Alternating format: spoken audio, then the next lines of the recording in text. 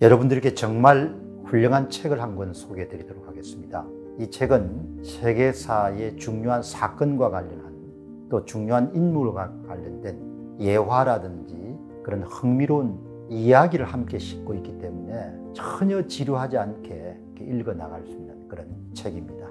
여러분께 정말 아주 강력하게 추천하고 싶은 책이 기독교로 보는 세계 역사입니다.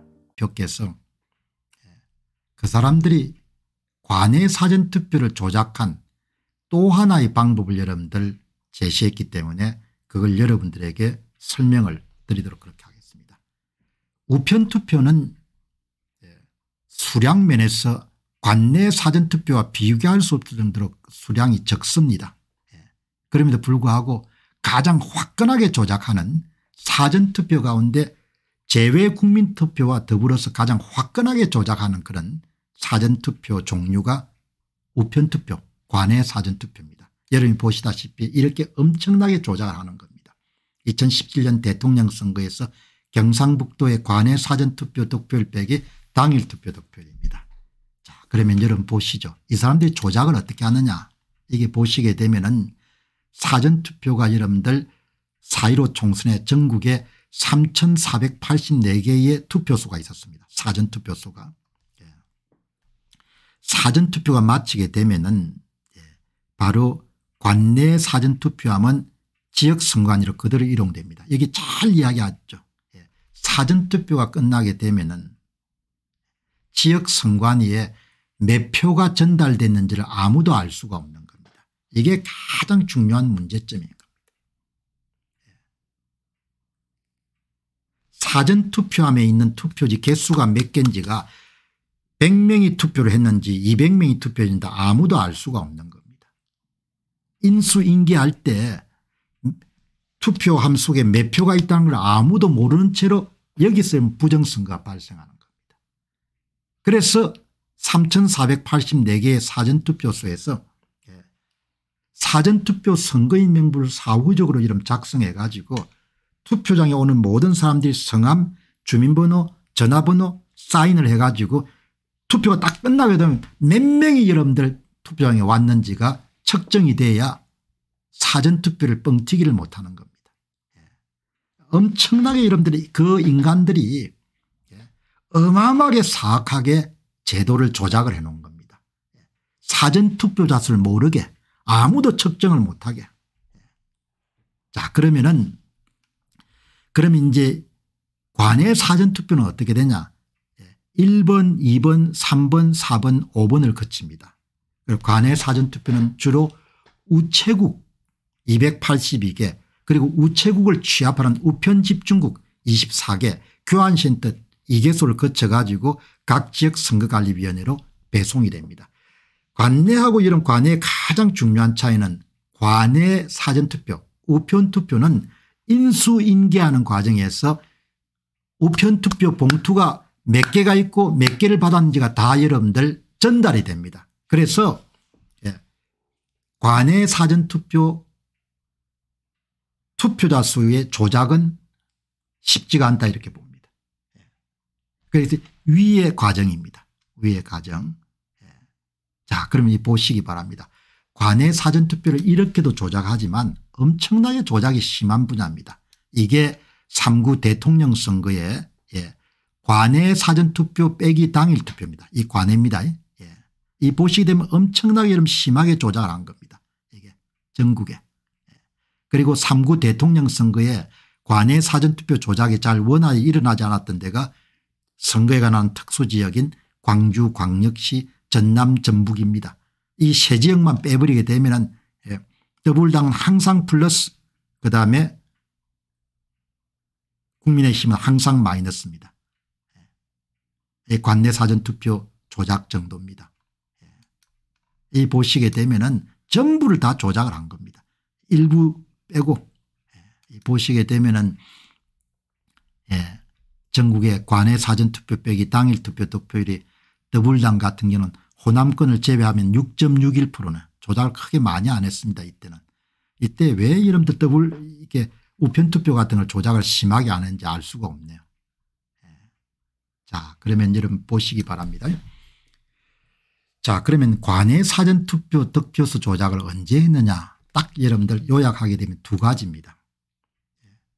투표가 끝난 다음에 우체국으로 가면 은 우편투표가 봉투가 우편 집중국에서 장기 체류하는 동안에 우편 봉투를 바꾸치게 하는 것이 발생했을 가능성이 굉장히 높습니다. 그런데 오늘 여름 새로 장영우 대표께서 보내준 것은 예, 우체국에서는 배달 완료했는데 선관위에서 안 받은 겁니다. 예. 우체국에서는 배송 완료 기록이 남아 있는데 선관위는 한 통도 못 받은 겁니다. 그게 어디가 있는가 하니까 제3의 장소에서 밤을 새고 그 다음 날 여러분들 배송이 되는 겁니다. 이걸 찾아낸 겁니다. 여러분 1번은 이미 소개해 드렸습니다. 우체국에서 우편 집중국을 거쳐 가지고 지역 선관위로 가는데 대한민국은 2013년부터 워낙 우정사업이 이런 발전이 돼 가지고 반도보라님 감사합니다. 워낙 여러분들 발전이 돼 가지고 다음 날 배송 T 플러스 1일 예, 다음 날 배송이 다 완료가 됩니다. 그런데 시간이 뭐죠 24시간을 넘어 가지고 T 플러스 2일 날 여러분들 배송이 완료되는 경우가 관내 우편 투표 가운데 44에서 55%까지 여러분들 발생한 겁니다. 그거를 어떻게 의심하게 되는가 하니까 그 표를 예, 바꾸치게 한 겁니다. 그럼 여러분께서 아니 공 박사님 그거 다 안 까보고 어떻게 여러분들 표를 바꾸치게 합니까 여러분 그렇게 표시하는 분이 계실 겁니다. 여러분들 통계학을 조금만 공부를 해보면 예. 천, 천 개의 우편 봉투가 있는데 우리가 지금 예, 이걸 조작을 하려면 한 60%까지 우리가 미는 후보가 득표율이 나왔으면 좋겠는데 그러면 여러분 있죠. 다 까보지 않더라도 예, 통계학을 이용하게 되면 천표 가운데 무작위로 500표를 뽑아가지고 특정 후보가 이름 기표된 500표를 집어넣으면 맞출 수가 있는 겁니다. 예. 여러분들이 아시겠죠 그러니까 가장 궁금하게 여기신 분이 저한테 질문인 게 아니 공 박사님이 무슨 뭐 응? 무슨 뭐 그걸 투시하는 능력을 가진 분도 아닌데 아니 천표가 지금 우, 편 집중국에 딱 도착해 가지고 성북구 선관 이런들 이동하기 전에 천표가 도착했는데 그걸 어떻게 본인들이 목표하는 관내 우편 투표 득표를 맞출 수 있습니까 그런데 여러분들 표본수가 크기 때문에 그냥 무작위로 몇백 표 정도를 끄집어내고 그냥 예를 들면 더블당 후보가 여러분들 다 기표된 몇백 표를 그냥 집어넣으면 맞출 수가 있는 겁니다. 그 방법을 사용하기 때문에 일일이 다 여러분들 찢어가지고 1번 몇 개, 2번 몇 개 할 필요가 없는 겁니다. 이 두 가지 방법 가운데 이제 오늘은 2번을 볼 건데 그래도 복습하는 의미에서 예? 복불함에 있어서 우편 집중국에서 장기 체류하는 사이 표를 얼마나 바꿨냐 그걸 한번 알아보도록 하겠습니다. 예. 우, 우, 이렇게 우체국에서 우편 집중국 이 우체 집중국이 아닙니다. 우편 집중국 예. 우편 집중국 예. 우편 집중국 예. 우편 집중국 장기 체류 예. 이 보시기 바랍니다. 어마어마하게 고된 작업을 하신 겁니다. 이 장영우 대표께서 예. 관내 사전 우편투표 배송 과정 조작 유행 1번입니다. 예. 이 여러분들 얼마나 대단한 작업인가 하니까 예. 전국의 여러분들 우체국 배송조회 웹사이트에서 272만 4548건 전수조사를 한 겁니다. 도저히 이런 작업을 사명감이 없이는 할 수가 없는 겁니다. 272만 건의 여러분들 관내 사전투표를 다 조사를 한 겁니다. 그리고 이걸 얻기 위해 가지고 선거관리위원회에 정식으로 정보 공개 요청을 해 가지고 250개에서 다 여러분들 자료를 받은 겁니다. 그거를 데이터베이스를 만들어 돌린 겁니다. 그래서 뭘 발견했냐 예. 이 사람들이 예. 주로 조작이 발생한 것이 1일, 1일차입니다. 예. 1일차에 여러분들 우편 투표가 24시간 안에 여러분들 배달이 안 되고 시간이 많이 지체된 23시간 예, 이상 밤을 지새운 그런 투표지가 예를 들면 의정부 우편 집중국에서 성북구 선거관리위원회로 가야 되는 우편 투표 봉투가 11,678개가 도착했는데 그 가운데 2,568개는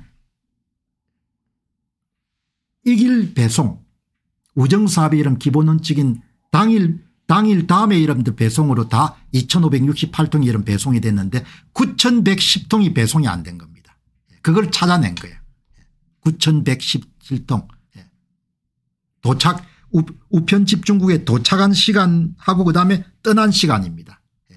그걸 여러분 조사를 해보게 되면은 아 도착한 시간하고 도착한 시간하고 예, 도착한 시간 나오죠. 4월 11일 날 0시 24분에 도착한 시간 그다음에 이제 예, 발송한 시간 성북 우체국으로 발송한 시간 예, 얼마나 우편 집중국에 체류했는가 그걸 보니까 여러분들 엄청난 겁니다. 1일차 가운데서 30시간 이상 초과한 여러분들 우편 봉투가 45%가 나온 겁니다.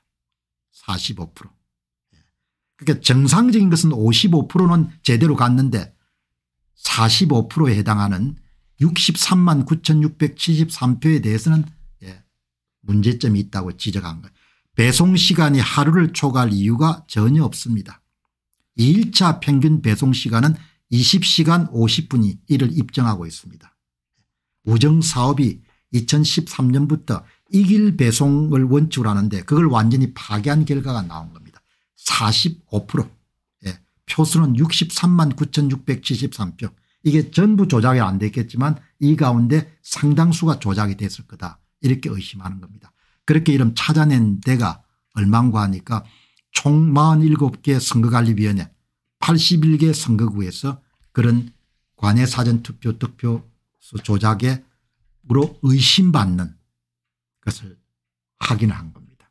이게 여러분들 첫 번째 우편 집중국 선거가 끝나고 우체국에 가고 우체국에서 관내 사전투표가 우편 집중국에 갔는데 우편 집중국에서 예, 예외적으로 오래 머문 예, 오래 머문 우편 투표 봉투든 봉투를 까지 않고 거기에서 예, 봉투를 바꾸치게 했을 가능성이 높다. 그렇게 보는 겁니다. 예. 자 그러면 여러분 오늘 오늘 여러분들 본 것은 바로 우체국과 우체국에서는 배달했는데 선관위에서 안 받은 겁니다. 예. 제3의 장소에 가가 뭡니까 바꾸치기 했거나 그렇게 했겠죠. 우체국에서는 배달 완료했다는 기록이 있는데 지역 선관위는 접수 기록이 없다. 예. 다른 모처에서 하룻밤을 세운 다음에 배달됐을 것으로 추정한다. 그 우편 투표 봉투가 외박을 한 겁니다. 예, 이런 거 다 폐지해야 됩니다.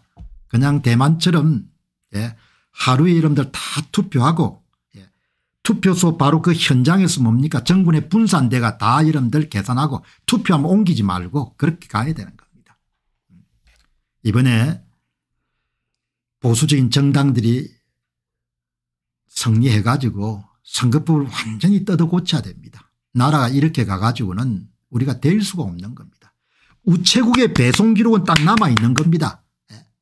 성북구 선관위에 매달 며칠 날 몇 시에 몇 통이 전달됐다가 다 이런 결정이 됐는데 성북구는 받은 게 없는 겁니다. 예. 여러분 이 과정에서 음? 우체국 직원이 분명히 여러분들 먼저 수량 확인하고 전달했는데 지역 선관위는 받은 게 없는 겁니다. 이런 여러분들 새로운 유행을 조작 유행 2 우체국과 선관위 배송 과정에서 우편 투표 봉투 바꾸치기 예, 여기 보시게 되면은 예, 한 보시기 바랍니다. 예, 여기에 관내 사전투표가 대전시 서구에 4월 10일 4월 10일 날 7,936표 7,010표 이렇게 여러분들 완료가 된 겁니다. 예. 여기 보시게 되면은 4월 10일 총선 가벌 선거구의 관내 사전투표 우편투표는 사전투표 1일차에 14,946동 이게 합치게 되면 14,966동입니다. 예. 다음 날인 4월 11일에 대전 서구 선관위가 접수한 봉투수는 0건입니다. 예. 그런데 우체국은 배달 완료 기록이 있는 겁니다.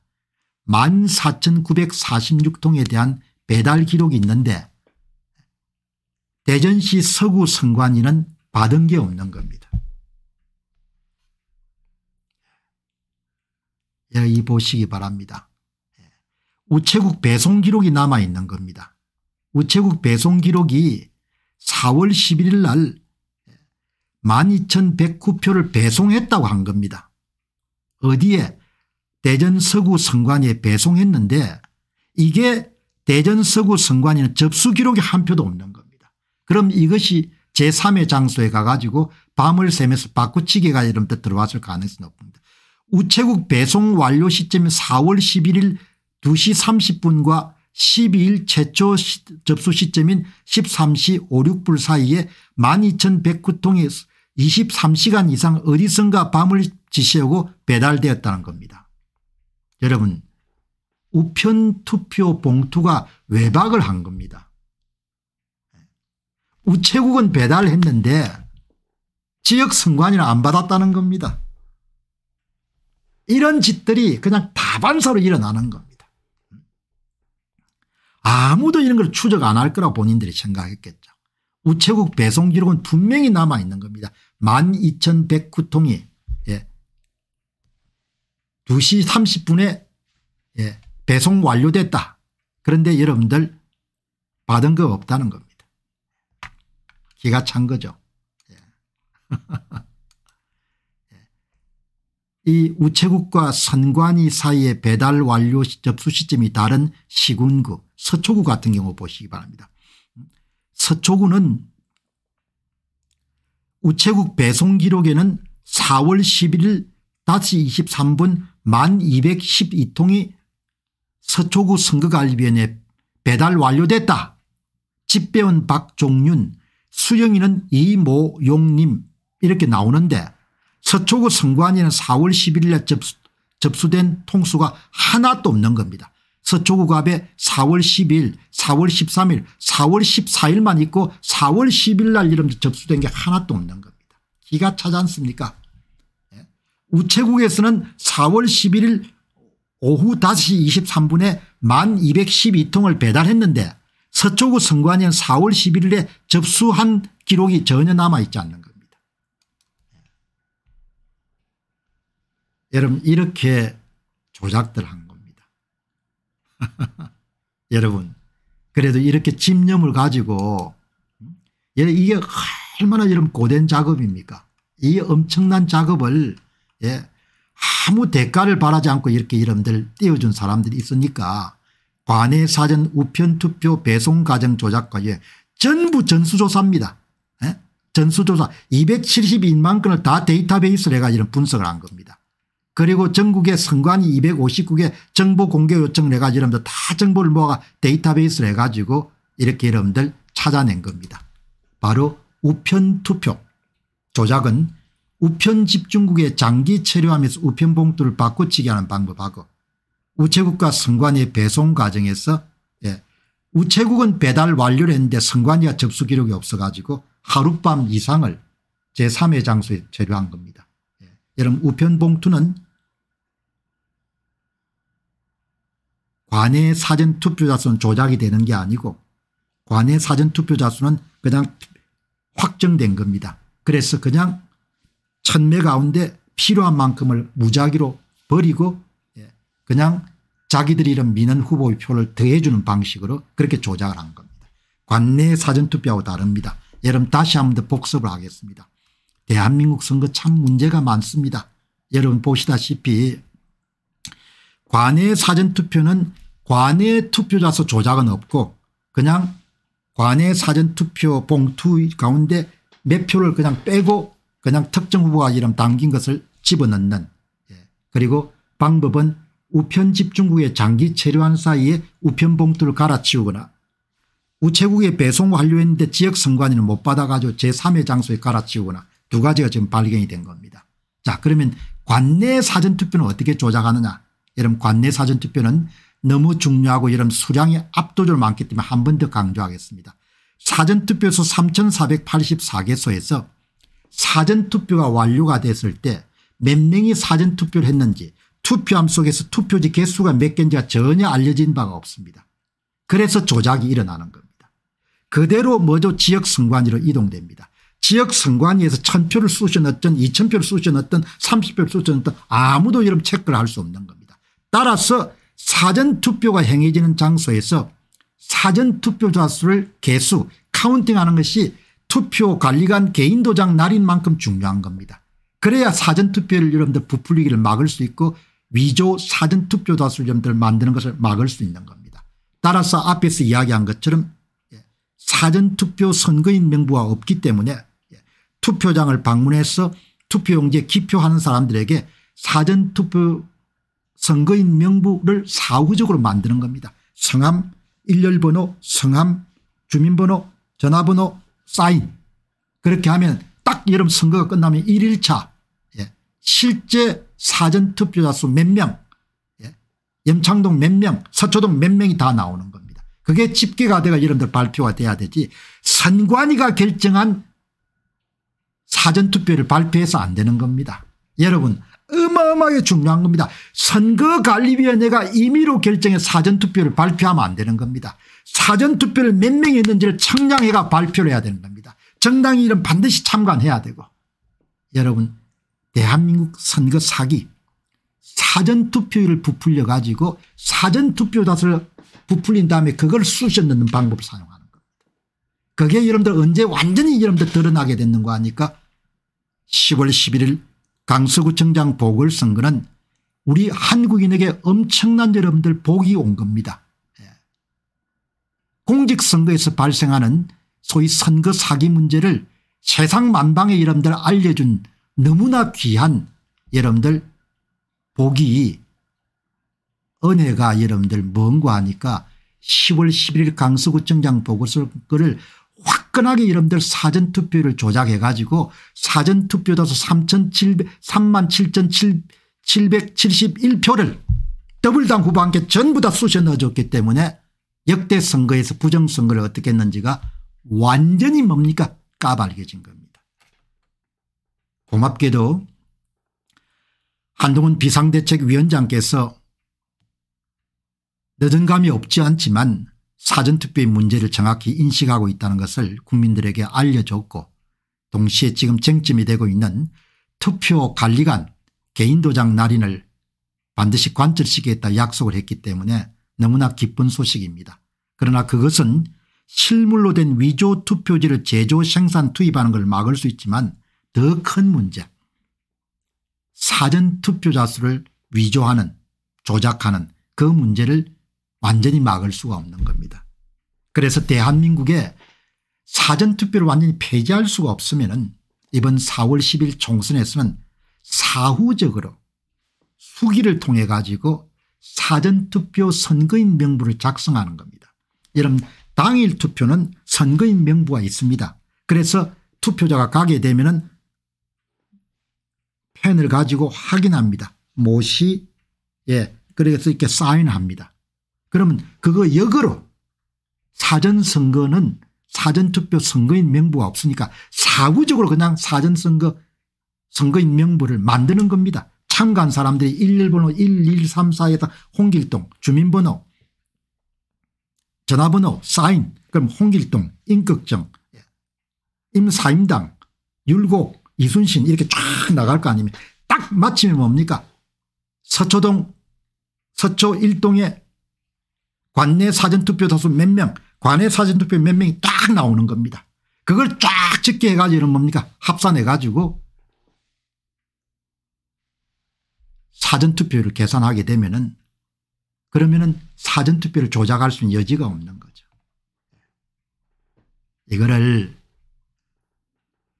관철시키기에 시간이 그렇게 많지 않지만 그래도 여러분 보시게 되면은 이렇게 한동훈 비대위원장이 이렇게 파격적인 발언을 하리라고는 누가 예상했겠습니까 그래서 마지막까지 이 사전투표자수의 counting 이거를 향해 가지고 여러분들 총력을 기울이는데 여러분들이 좀 힘을 더해 주시기 바랍니다. 안녕하십니까 공병호입니다. 그동안 공병호 tv는 선거 공정성 회복과 자유민주주의 체제의 보존과 발전을 위해 노력해왔습니다. 이런 노력들이 지속될 수 있도록 공병호 tv의 전기 후원 프로그램이자 멤버십 프로그램을 소개해드립니다. 뜻 있는 분들의 관심과 동참을 부탁드립니다. 선거 공정성 회복을 위한 노력을 지지하시고 훌륭한 나라 만들기에 동참하시는 시청자분들이시라면 구독 버튼 바로 옆에 있는 가입 버튼을 통해서 정기 후원 프로그램에 가입할 수 있습니다. 가입 버튼을 누르시면 공병호TV의 후원자가 되시게 됩니다. 여러분의 후원이 선거 공정성 회복을 위한 노력에 힘을 더할 수 있을 뿐만 아니라 자유민주주의 체제의 수호를 그리고 발전을 통해 여러분과 후손들의 삶에 빛과 소금이 될 것입니다. 특히 그동안 공병호TV는 선거 공정성 회복을 위한 노력 과정에서 채널 성장에 제약이 가해지는 불이익을 감수해왔고 지금도 그런 불이익이 계속되고 있습니다. 그럼에도 불구하고 너무나 중대한 문제이기 때문에 공병호TV의 노력은 계속될 것입니다. 여러분의 깊은 관심을 부탁드립니다. 감사합니다.